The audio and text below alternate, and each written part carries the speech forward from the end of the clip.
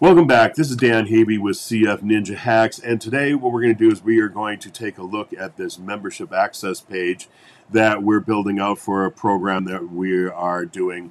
And um, the things you can see with it is obviously you have a big full width image in the background, and then you see here in the middle it gets darker, and then we got this white text and the um, membership uh, access element right there. So let's just reload this page and see what happens when, when somebody comes to this page for the very first time. So what you did there, you saw it, you got the full width of the image, you get to see all the kids in the background participating in their various sports, and then you have the black center part come up as well as the white text and the, um, the box at the bottom. Well, part of the problem we were having is this white text did not work over the top of this background, but we also didn't want to have the background completely wiped out. So what I ended up having to do was putting a linear gradient across here. And the background itself, if you really look at this here, the background set in ClickFunnels is actually just pure black. And then at the body level element, we put in the image and then the container wrapper level is where we put in that gradient. And then of course you see you got a little bit of an animation as it comes flying in there. And then um, again we got this full image in the back. So when you do get inside of the membership area you can see here in the back you got the image in there. It's very much grayed out at this point. But then if we click here you can see now we got it bleeding through all over the place and then if we take go back to the courses, you see these just go back and forth. And then here on the side, we can uh, move the menu out of the way to make the content as big as we possibly can on the screen so people can see it. So let's take a look here. Let's go back there. So you see what it looks like there. So let's go into the code itself. And uh, before we go there, let me come back here. Let's open up the developer tool and let me move this out of the way, and which you can't see, but it's uh, I'm on Ecamm Live and um, got a little uh, picture myself there. So um, first thing, like I said, at the HTML level, that's where if you're inside of ClickFunnels, you come into your settings, you go to background. Let's uh, kill that. Oops. Uh, let's go back in here. Background. All we have set here is the uh, in the background inside of ClickFunnels is the background color. We do not have an image set. So over here in the code, what that is represented by is the HTML element up here at the top, and it just says background color, and that uh, in um, um, RGB is black right there, 000. Then inside of there, we have our body element, and at the body element level, that's where I have this image, and you can see with the image, it actually is a uh, transparent PNG. And so let me see, yeah, it is PNG. And so it is, it's got a transparent background on it, so therefore the black that is behind it is shining through it. And then we come down to the container inner level, and that's where we have this gradient in the background, and we can turn that off. And you can see now it makes that white text, let me get this out of the way, it makes that white text uh, really difficult to read. And so that's why we had to put the gradient in at that level. But the reason why I'm showing you all this is that you have three levels you can play with here above where your sections are. So here we have section, well actually this is the modal pop-up, that's a pop-up uh, section right there. Then you have one section here, another section, another section, and so all your sections line up below it. But above the sections, you actually have three levels where you can put in different things in order to build out a background to look however you would like. So let's just take a look at what we did in here. Um, so in the CSS, we're just going to come in and we're right down here in this area here, lines 35 to 49 is what we're looking at. And so let me widen this out a little bit. So what I have here is I just say for the body element, and because the body tag is exactly what it is. So it's not a class, it's not an ID, so you don't put a period or a hashtag in front of it. You don't put the square brackets around it like that because it also is not a, an attribute either. So it's just the body element of the page. And on there, we say grab a hold of this image. And so, of course, where did I get that image from? Well, let me just go here. Let me kill that again. Let's go in here. Let's go to background.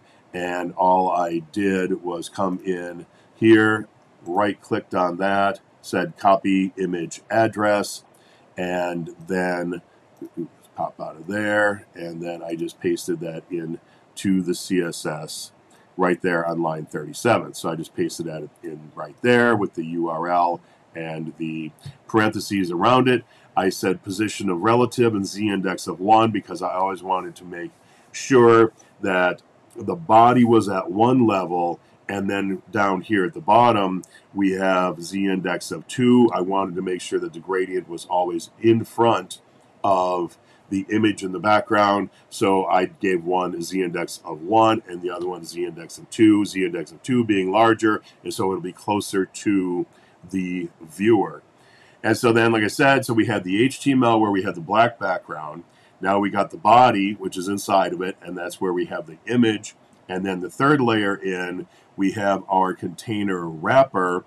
And in this case here, I'm saying, let's start off by displaying nothing and have no background image on it because what I want to do using some JavaScript then is to have it show up. So as you saw here, let me reload this page again.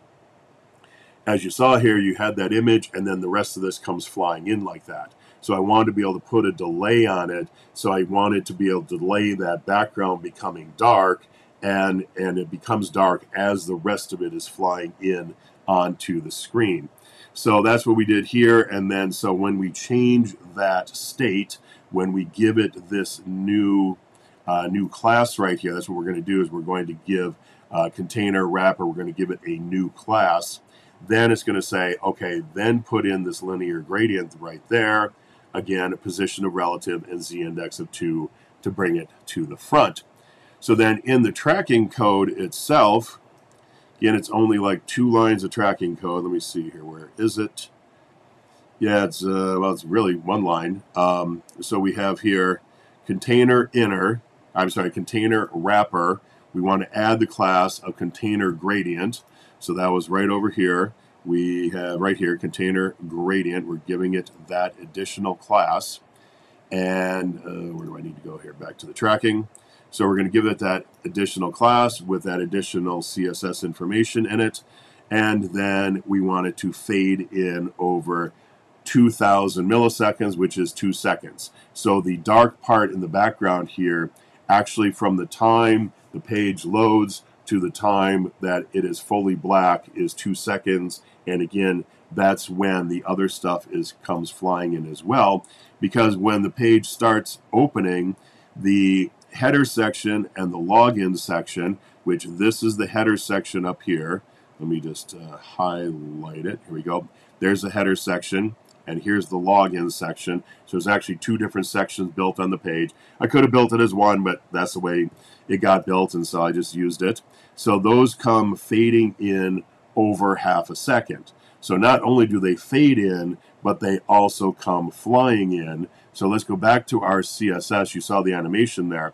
Let's come back to our CSS and let us turn, let us kill this down here, and let's save it. And then we can reload the page, and you're going to see it just fade in, but you're not going to see it come bouncing in like it had been. So there you go. So now it just fades in over half a second once the rest of the page loads. And then, of course, the background gradient of black also came in um, at about the same time. So now let's come back to our animation here.